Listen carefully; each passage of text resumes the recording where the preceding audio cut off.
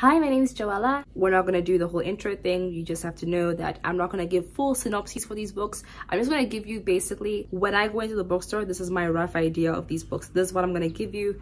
So enjoy. First is American Gods by Neil Gaiman. I believe this is like set in our real-time world and there's magic. So Neil Gaiman is a very established author. People love his books. Uh, I'm very keen for his Norse mythology book. This one book, ooh, I'm keen for it. American Gods seems to be well loved, so I'd like to try it sometime and you might too. Next is one of my favorite authors, uh, Naomi Novik and her Temeraire series. I am so keen for this book. We're following a guy and is like basically like pet dragon or rather like best friend dragon and their adventure and honestly seeing someone have such love for their pet or at least a relationship that it had to become a book with their pet ah this is worth it. I really enjoy Naomi Novik's writing. It's very beautiful, but then at the same time, we kind of get to the point. We're not just sitting and like having beautiful words run through our mind. No, there's like purpose for it. We're getting somewhere, don't worry. Next is a Song of Blood and Stone. I saw this the other day and I was like, ooh, this looks interesting. To be honest, I don't know much about it, but I saw the cover and I saw actually saw the sequel cover and I was like,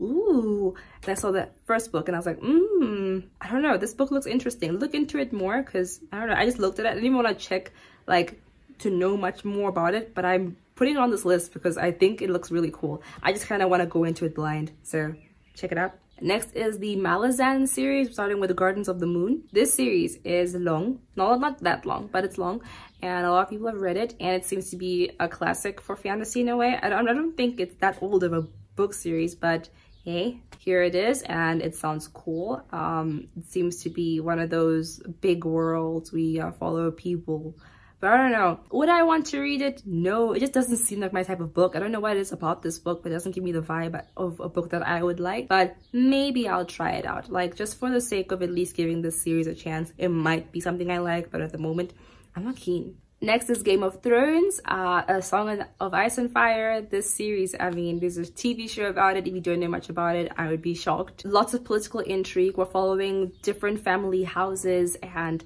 uh, more dealing with monarchy systems we're dealing with so much it's a huge world and i think because i feel like if you're gonna describe modern day fantasy as well this is something to look at have I read the books myself? I've read the first one and I really enjoyed it. Finished the series when we all hated season 8. So I thought might as well read the books and I'm keen. I mean, I'd love to see how the books are because they are very different from the show apparently.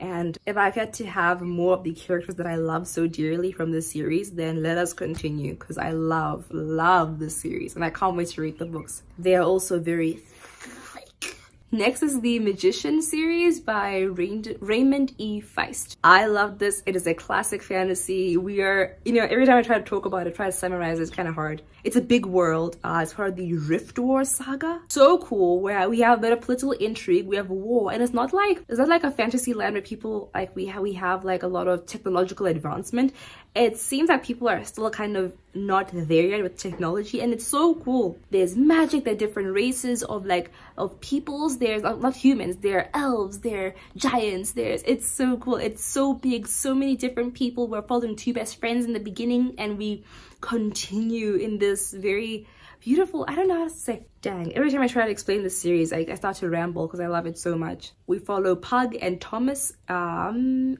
and we go from there I feel like explaining any more could ruin the experience. I really do. Uh, I mean, if you want to read a classic fantasy, this one I highly recommend. Love, love, love. Next is The City of Brass. I believe it's part of a trilogy and it's kind of set, uh, I, I, believe it takes um, inspiration I don't know, from some kind of Asian stories, I believe. There are jinn in the stories, jinn relating to genies. So there's a whole jinn world. This is girl. She finds a, a, lamp, I think, or a genie, and she gets exposed to this whole jinn world. And we take off from there. And it seems really cool. One is not generic kind of uh, medieval, kind of basic classic fantasy vibes is different. So that's already something I'm keen for. We're following a female character and I believe the Jinn is male and I would love to see their dynamic. I like, mm, I don't know. It just seems like it's gonna be a fun story and it's a thick, thick, thick book. So I'm gonna have a lot of fun just like diving headfirst into it.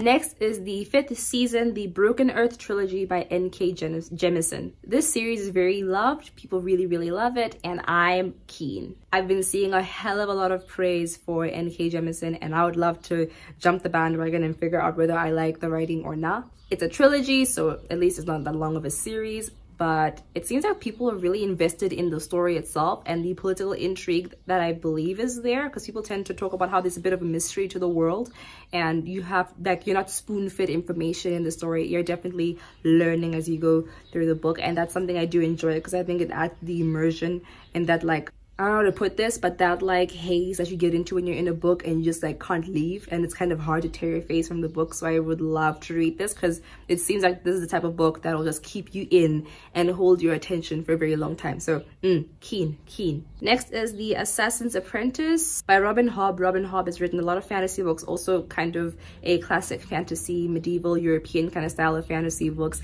So mm, I'm keen, I really like it. We're following a male character. He starts off as like scum basically in the story from what I've heard. And then we follow him becoming basically the king's like servant, like sending him off to do jobs and we take off from there. But it turns out that this character, he kind of is kind of royal blood, but something happened. But it just sounds cool if you want to see the real synopsis go go and check goodreads because right now i'm right now i'm just giving my just initial feelings about books and i'm not gonna give you a synopsis. That's not what i'm here for. I don't know what to say but i'm just keen for this. I feel like it'll be fun to read something like this and also since it's more uh, newer fantasy though it still has those classic elements to the fantasy i think it'll be easier to read and really fun. At least for me at least that's what i think Next is The Night Circus, anything by Erin Morgenstern. There are two books by Erin Morgenstern, this one and The Starless Sea. I would call this alternative fantasy because it's not like fantasy, but it's like I don't know how to put this, but it's very flowery, I'll tell you that. And the magic is very like, it seems to be in sync with the world. Like the world and the magic are It's not like given a certain time period. You know how most fantasy books is like this like other time before we have phones and things. But then these two books seems to be when electricity is there. Uh, the Starless Sea takes place in modern time, 2017. I think that's when it was set.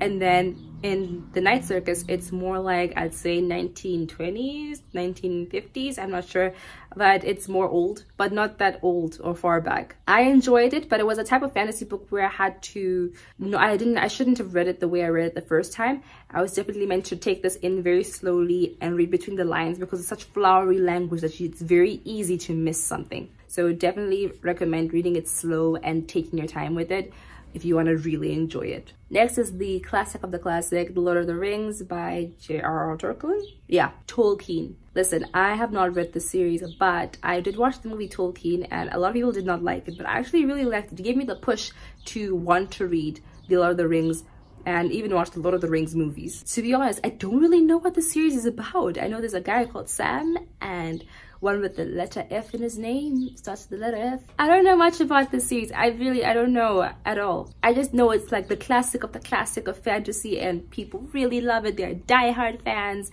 A lot of, a lot of fantasy that we read now is inspired by uh, Lord of the Rings and I'm just keen. It seems to be a very big world, different races. Uh, we have elves, we have this, we have that, like all types of all types of fun things not just human beings so that's great. Very excited for this. It's it's old. I mean i feel like everyone knows about the lord of the rings and i am the one who's behind. Next is jade city uh, and has another book after it, Jade War, I believe. This series is, is loved. The people love it. It's new and mm, it seems like it's not like the typical, once again, like generic fantasy world or setting. I believe it has uh, Asian influence to the story, which is very exciting. I honestly don't know what this book is about but I'm keen. It seems to be well loved and I sometimes you need that different kind of spice and I'm looking for more different kind of fantasy world settings that are not that generic or like basic in a way. Next is Queen of the Tearling. Oof, ugh.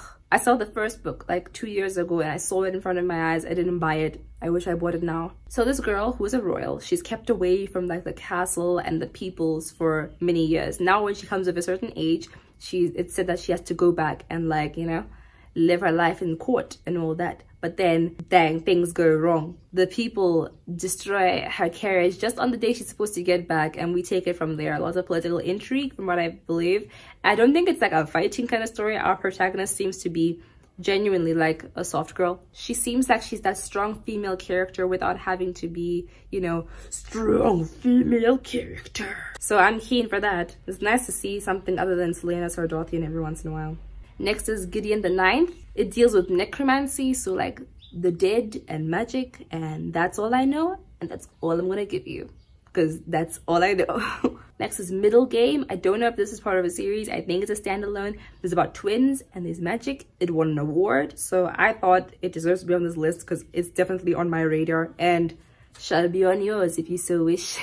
Ooh, Blood Song. I'm keen for this. This series sounds cool. We seem to follow a boy and they're at like a school for like i'm not sure i don't know if it's like assassins or it's like magic but it looks pretty interesting there's a sword on the cover so i assume it has to do with fighting i believe he makes friends obviously and we also follow the friends i don't know if it's many perspectives or just one perspective but i don't know it sounds so cool elliot brooks is a booktuber who talked about it quite a lot and it I have always had interest for this series, so I'm keen and you should be too.